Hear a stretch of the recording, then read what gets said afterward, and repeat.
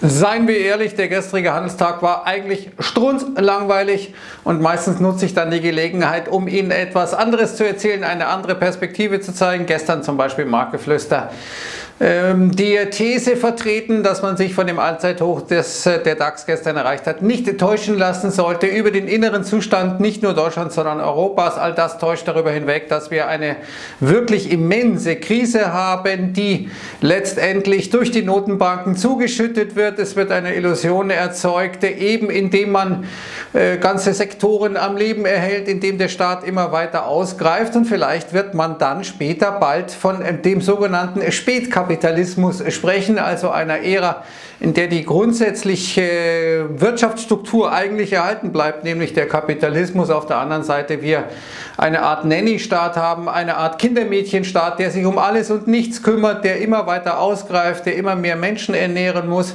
der immer weniger freie, wirklich freie Märkte ertragen und vertragen kann, denn diese freien Märkte würden dann ganz klar signalisieren, da ist innen was hohl und faul, das kann nicht sein, das darf nicht sein und so schleppen wir uns immer weiter. Man kann, und das ist das große Problem an dieser ganzen Geschichte, letztendlich die ökonomischen Zyklen, Boom, Bust, rauf, runter, Hochkonjunktur, dann wieder eine Art Bässe, eine Rezession, all das kann man nicht mehr zulassen, darf man nicht mehr zulassen, will man nicht mehr zulassen. Man tut immer so, als würde die Welt untergehen, wenn es uns mal ein bisschen schlechter geht. Das sind aber eigentlich normale Aufs und Abs, die wollen wir nicht mehr zulassen. Und hier zum Beispiel ein Artikel auf Bloomberg der hier sagte, das ist äh, jetzt das Typische eben, was wir uns nicht, was äh, in dieser Phase des äh, ultralaxen Geldmanagements durch die Notenbanken hier der Fall ist, dass es gar kein Auf und Ab mehr gibt. Es gibt keinen Boom, es gibt keine Rezession mehr. All das ist gewissermaßen zugeschüttet und eliminiert. Aber wir sehen dann ab und zu so kleine Kapitalmarktkrisen aufblitzen. Warum sehen wir das? Weil eben durch diese ultralaxe Geldpolitik ein paar Spieler am Markt die Risiken maßgeblich überdehnen. Einer davon ist Elon Musk, Cathy Wood wäre zu nennen und natürlich Archegos oder Archegos, wie man auch immer sagt. Und jetzt ist hier zum Beispiel äh, ein hochinteressanter Artikel erschienen auf CNBC, dass Morgan Stanley nochmal schnell 5 Milliarden an äh, diesen Aktien, die mit Archegos verbunden sind, verkauft hat und zwar schon am Donnerstag. Und zwar ist das so gelaufen wie damals äh, in ähm, dem Film Margin Call, die Bank hat entdeckt, da ist ein riesiges Problem und der entscheidende Punkt ist, dass wir die Ersten sind, die ihre, unsere Position hier auf den Markt werfen. Also hat man ähm, die Händler der Bank angewiesen, ruft mal ein paar Hedgefonds an, äh, denen werden wir diese Aktien verkaufen. Genau das Muster, das wir damals oder das in diesem Film Margin Call auch wunderbar zur Geltung kam oder das hier so wunderbar behandelt wurde. Und diese Hedgefonds, die äh, nehmen normal sehr gerne äh, Geschichten wahr oder, oder Angebote wahr von einer Bank wie Morgan Stanley, die im Tech-Bereich führend ist, was Tech-Aktien führend ist zum Beispiel. Da kriegt man dann oft äh, seitens der Hedgefonds von Morgan Stanley schon Aktien, bevor es dann wirklich zum IPO kommt. Man profitiert also sehr, sehr stark äh, von Morgan Stanley seitens der Hedgefonds und jetzt hat man sich dann von, bei Morgan Stanley gesagt, ja, dann äh, rufen wir die Jungs mal an von den Hedgefonds und hat ihnen gesagt, ja, das sind äh, hier Stücke eines in Not geratenen Hedgefonds, ihr könnt dazu beitragen, den zu retten. Da haben die gesagt, okay, das machen wir mal, das wird schon sicherlich ein gutes Geschäftchen werden. Was Morgan Stanley den Hedgefonds nicht gesagt hat, ist, dass sie die Ersten sind, die hier abverkaufen und andere noch massive Positionen haben. Das wusste Morgan Stanley, denn die Banken haben sich getroffen, haben Vertreter entsandt, die sich besprochen haben, wie äh, kriegen wir das Problem äh, vom Tisch. Und so ist es eben gekommen, wie es gekommen ist. Es sind zwei sitzen geblieben. Die Credit Suisse mit einem äh, Verlust von 4,7 Milliarden Dollar und Nomura wissen wir noch nicht genau, wie viel Milliarden da Verlust ist. Goldman Sachs, Morgan Stanley die sind aus der ganzen Geschichte wunderbar rausgekommen. Also auch das ist ein äh, typisches Phänomen. Wir haben dann solche Kapitalmarktkrisen, die entstehen durch Überhebelungen, indem die Risiken in diesem Spätkapitalismus, der durch die Notenbanken manipuliert ist, äh, die Märkte, die durch die Notenbanken manipuliert sind, äh, grundsätzlich komplett verzerrt ist, wo eben Exzesse der Fall sind, äh, die letztendlich auf das Handeln der Autoritäten zurückzuführen sind. Äh, und äh, das ist sicherlich nur die Spitze des Eisbergs, wie Meinert von Guggenheim hier sagt.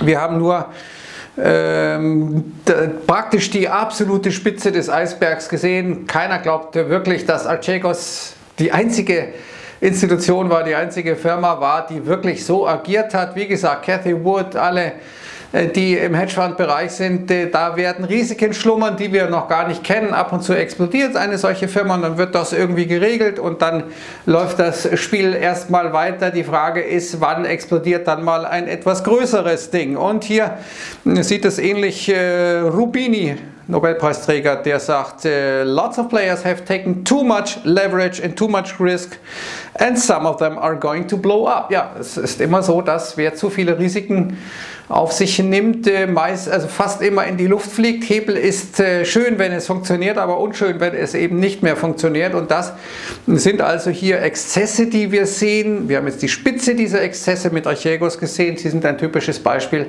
von Märkten, an denen scheinbar nichts schief gehen kann. Es ist ein äh, Phänomen des Spätkapitalismus. Wir sehen jetzt, wenn wir zu den Märkten insgesamt kommen, dass die Renditen zurückgegangen sind der US-Staatsanleihen. Und wir sehen auch, dass der Dollar schwächer geworden ist. Aber warum sind die Renditen zurückgegangen in den USA? Nun, der plausibelste Grund ist der, dass die Zweifel wachsen, dass Joe Biden sein Infrastrukturprogramm durchbringen wird. Es gibt Widerstand innerhalb der Demokraten sogar schon. Die Republikaner sind eh dagegen sehr. Das alles äh, verkompliziert die Geschichte. Die Wahrscheinlichkeit, dass dieses Programm kommt, wird immer geringer. Viele aus der Wirtschaft wenden sich dagegen. Amazon hat jetzt zum Beispiel gesagt, wir sind aber dafür, wir sind auch bereit, dann eben eine höhere Unternehmenssteuer zu ertragen. Mal sehen, wer sich hier durchsetzen wird. Das jedenfalls das Thema. Wir sehen äh, rückläufige Renditen für Staatsanleihen, äh, für US-Staatsanleihen. Und wenn Sie mal den DAX äh, mit den zehnjährigen US-Staatsanleihenrenditen vergleichen, dann sehen Sie, da gibt es einen gewissen Zusammenhang. Der DAX steigt normalerweise, wenn die Renditen steigen und er fällt, wenn die Renditen fallen in den USA. Warum auch immer. Es ist eben so, dass diese ganzen Value-Geschichten, die im DAX ja überrepräsentiert sind, im Prinzip weniger sensitiv sind normalerweise als die Tech-Werte, wobei es eben anfangs oder in den letzten Wochen lange so war, dass Renditen gestiegen sind, dann ist der Nasdaq gefallen, dann sind die Renditen weiter gestiegen. Der Nasdaq hat sich nicht dafür interessiert, also diese Beziehung hat sich etwas entkoppelt. Aber wichtig, es ist der Zweifel da, dass dieses Infrastrukturprogramm durchkommt. Dabei gäbe es jede Menge Bedarf. Hier sehen wir mal, in den USA gibt es äh, ungefähr 45.000 Brücken alleine, die äh, schadhaft sind oder die Probleme verursachen. Allein in diesem winzigen Bundesstaat Iowa sind es äh, 4.500, also gut 10 Prozent äh, der Problembrücken, hier 20 Prozent der äh, Brücken, äh, die ins oder 19 Prozent aller Brücken, da sind alleine in Iowa sozusagen fast 4600 Defekte. In anderen Bundesstaaten ist es weniger schlimm, aber wir sehen, es gibt einen Riesenbedarf an dieser Modernisierung der Infrastruktur, aber es wird wie immer viel, viel komplizierter. Äh, das äh, zeichnet sich jetzt äh, bereits ab. Wenn wir uns die Indizes mal anschauen, wirklich absoluter Langweilertag, Unentschlossenheit. Was sollen wir tun? Ist das nicht schon ein bisschen zu heiß gelaufen? Wie weit kann die Rallye noch gehen? Eigentlich sind ja alle super optimistisch. Der S&P gestern minus 0,1 Prozent. Wir sehen Small Caps leichte Minus. Nasdaq leichte Minus, äh, nicht wirklich etwas passiert. Auffallend gestern, es gab mehr Aktien, die äh, gestiegen sind als gefallen sind. Vorgestern hatten wir eine massive Rallye, aber es äh, war so, dass die Zahl der Aktien, die gestiegen sind, in Relation zur Zahl der Aktien, die gefallen sind, nicht so toll war. Wenn wir uns mal anschauen, welche Sektoren gut laufen, sehen wir Utilities, Versorger, defensive Sektor vorne. Consumer Staples vorne, defensiver Sektor, Real Estate vorne, auch ein defensiver Sektor, Healthcare und Technology am Ende mit Energie, aber wirklich keine großen Verluste hier zu verzeichnen. Insgesamt von diesen elf Sektoren sind jetzt zehn überkauft, zwei extrem überkauft, nämlich äh, Consumer Staples, Defensiv und äh, Real Estate.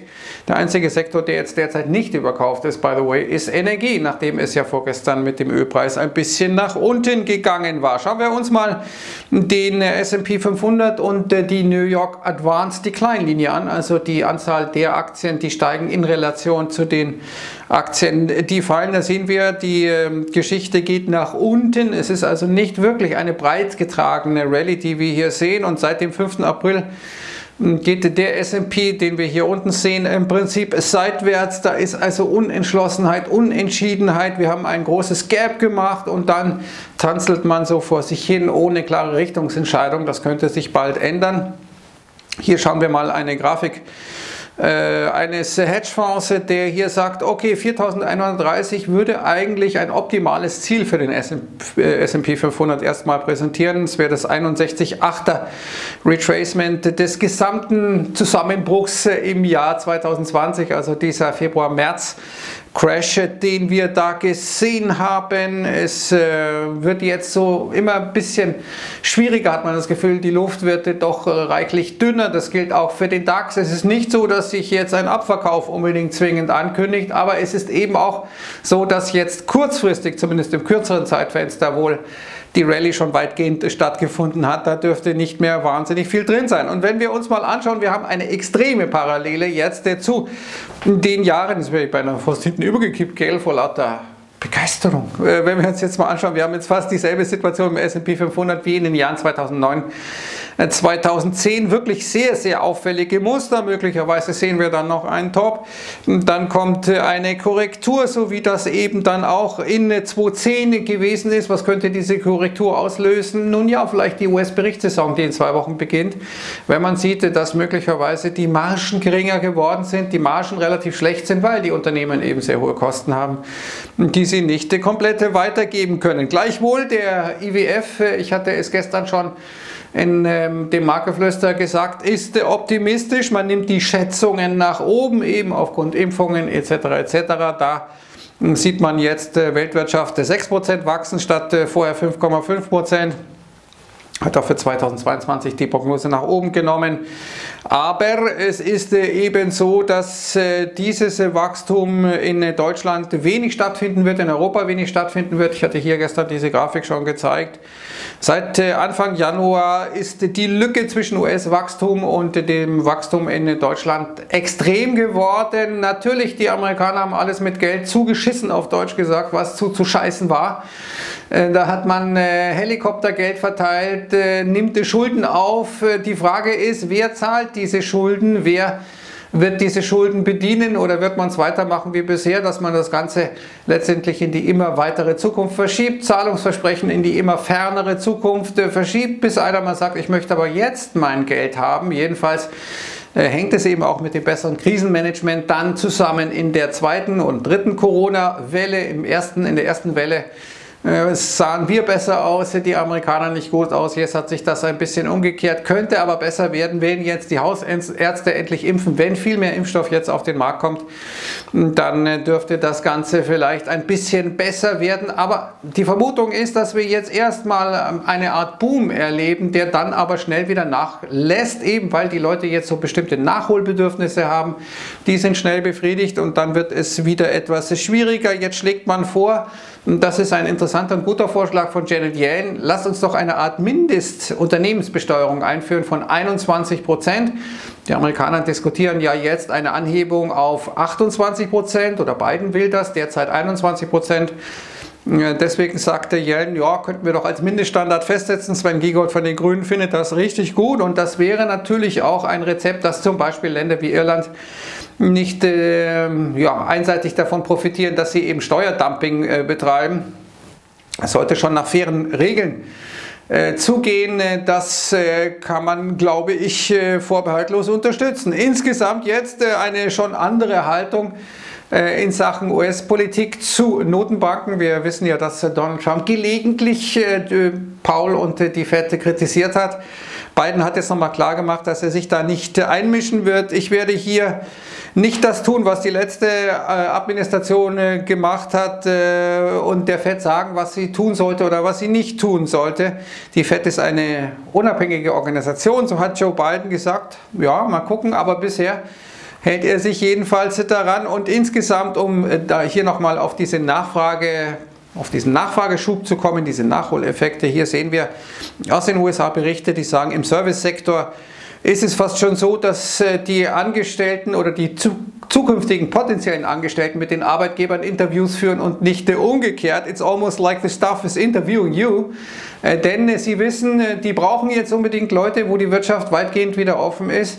Das könnte hier auch in Deutschland der Fall sein, in Europa der Fall sein, wenn diese ganze Corona-Geschichte nachlassen sollte, dass dann Arbeitskräfte gebraucht werden. Diese dringend benötigten Arbeitskräfte haben eine andere Verhandlungsposition, was die Löhne betrifft. Das wiederum hat Einfluss auf äh, die Inflationsentwicklung. Ähm, das wiederum dürfte bedeuten, dass wir möglicherweise eben nicht Inflation eigentlich bekommen, sondern Stagflation, also die Wirtschaft dann nicht mehr wirklich wächst, aber dennoch die Geld Wertstabilität äh, sich ins Negative neigt, um es mal so zu formulieren. Das wäre das unschöne Szenario. Der Spätkapitalismus ist keine gute Zeit für die Aktienmärkte, davon bin ich relativ überzeugt. Die Einflüsse des Staates werden immer weitergehen, werden immer weitere Begrenzungen erlassen, immer weitere Maßgaben setzen. Es wird sicherlich so sein, dass dann zum Beispiel, wenn viele Menschen keine Arbeit mehr finden werden, die aufgrund Qualifikation oder warum auch immer es eben nicht schaffen, äh, sich wieder in den Prozess äh, einzumändeln, äh, dass die dann vom Staat subventioniert werden. Der Staat aber dann zum Beispiel Vermietern sagt, ja, du kannst,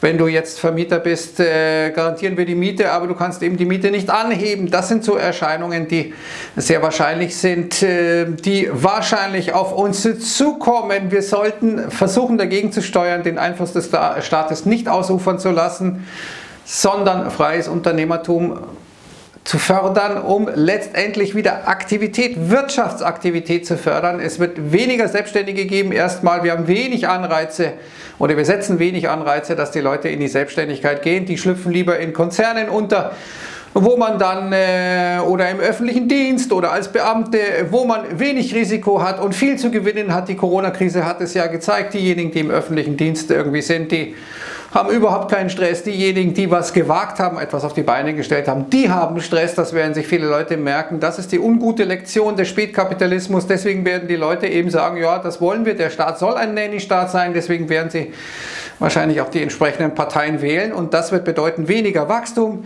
dadurch äh, noch mehr Notwendigkeit, dass der Staat äh, vielen Menschen hilft. Und so ist das eine, ein Teufelskreis, der sich wahrscheinlich dann weiter spulen wird. Die Aktienmärkte, nun ja, wir sind in einer schwierigen Seitwärtsphase, wahrscheinlich rauf, runter, rauf, runter, nachdem wir mit Gaps äh, nach oben gekommen sind. Mal sehen, ob heute etwas mehr passiert ist. War gestern schon ziemlich langweilig, hoffentlich heute mehr Action. Bis dann, Servus und ciao.